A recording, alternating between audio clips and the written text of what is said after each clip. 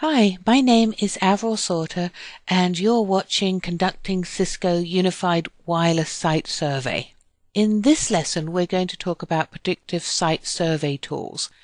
And as the name suggests, this actually predicts the results of the site survey. In other words, it'll tell you where to put the access points.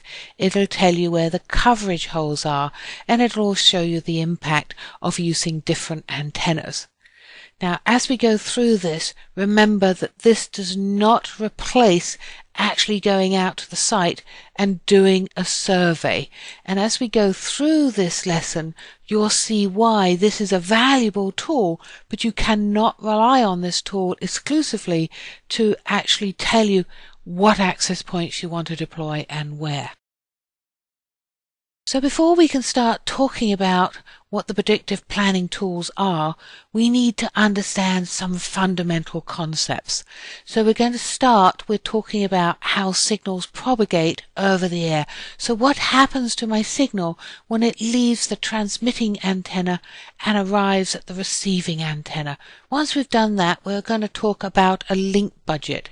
A link budget is all about how do I make sure I receive enough signal strength in my antenna that my receiver can successfully decode that signal and get back to your ones and zeros. So we're going to talk about that link budget.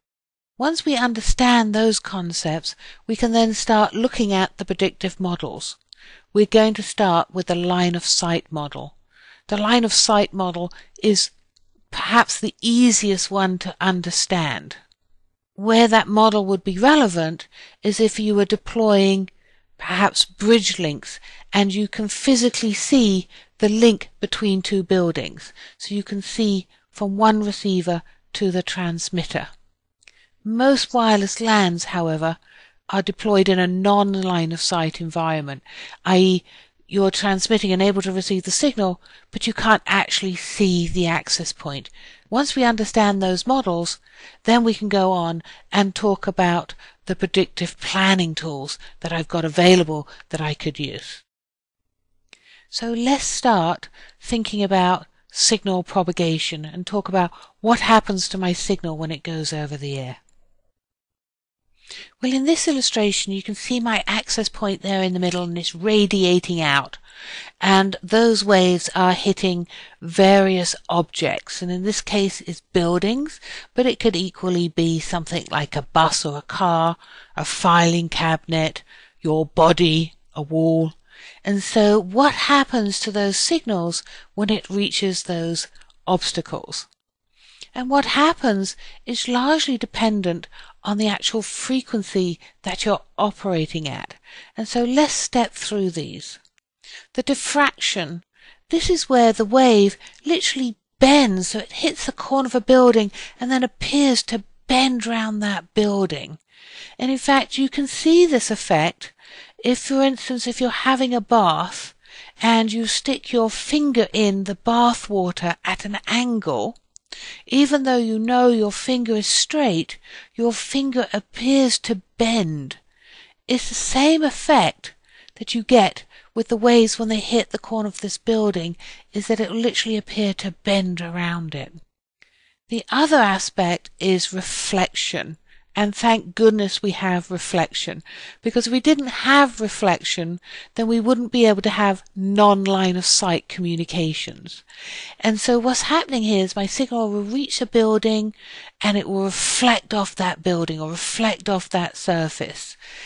And some obstacles are more reflective than others. So something like mirrors, for instance, give me a very strong reflected signal other surfaces tend to absorb more of the signal and I have much more of a weaker reflected signal.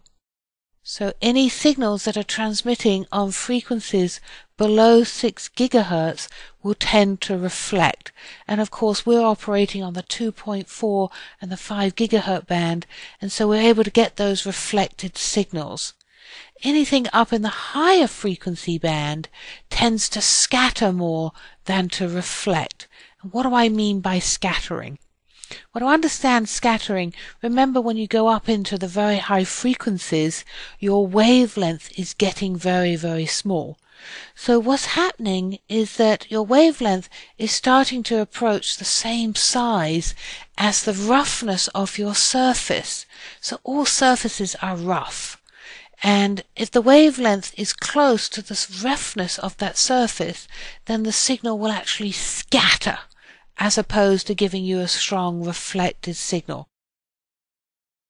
So here you can see an example where my signals are bouncing off the desk, the filing cabinets, etc., and then arriving there at the laptop. And so this is your typical wireless LAN environment, and this is what we refer to as multipath, where my signals are bouncing off these reflected surfaces and then arriving from different paths at my receiver. And again, you will still lose some signal with absorption, but most of it gets reflected rather than absorbed.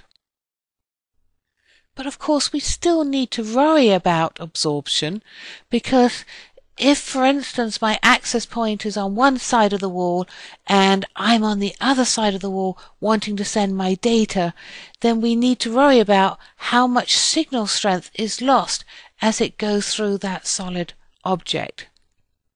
And of course, depending on what that obstacle is, my signal will be absorbed more or less.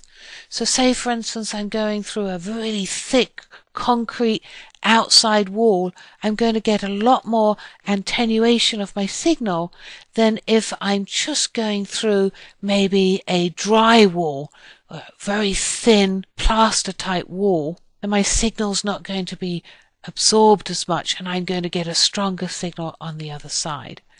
So when we talk about planning models, a lot of them you actually go in and you'll put walls and cubicles, etc., and they'll take that into account when they actually plan out how much coverage I have and how far my signal will go. So now we've talked about what happens to your signal over the air, let's talk about the link budget. And of course, we're going to talk about a link budget. We have to talk about decibels. Now, decibels can be incredibly confusing to people, so let me spend a little bit of time helping you understand what a decibel is. In fact, I put the equation here for you as well. So a decibel is literally a representation of the difference between two power levels.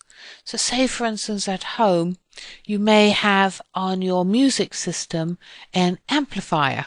And so power comes in and then the signal is amplified and more power leaves. And so you've got a ratio between the power coming in and the power going out. And that ratio is represented in decibels.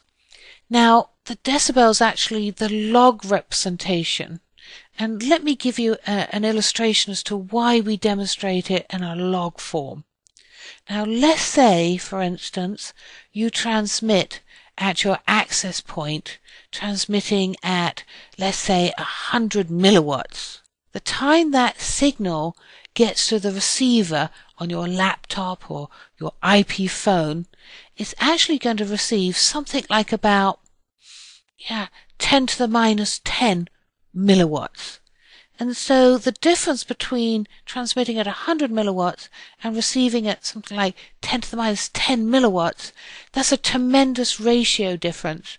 And so to represent those large numbers, we take the log of the differences in power. And that's simply all that a decibel is. And people get confused when you see things like dBm and dBi and the fact that I can add them together. But bear in mind, it's not like adding meters and feet. You're not dealing with units here. You're dealing with ratios. And of course I can combine ratios together. The other thing that people kind of get confused about is, is because it's a ratio and I'm taking a log of a ratio, if the ratio is actually below 1, so P1 is actually smaller than P2, so that ratio is actually below 1, what happens is the log of a number below 1 is actually a minus. And so you can see, for instance, in this table that if I take the log of 0.5, what I actually end up with here is minus 3 dB. And people get very confused about that. But it's again, all I'm doing is taking a ratio and it's a ratio less than 1. So most RF engineers are very comfortable with the dBs, etc., but many people in an IT environment don't work with decibels all the time, and it can be quite confusing. And so I put this reference chart in here for you, and there's a few things that you should always remember. Like, for instance, if I say to you that I've got a 3 dB gain, what they're saying is that is twice the power. A 10 dB gain 10 times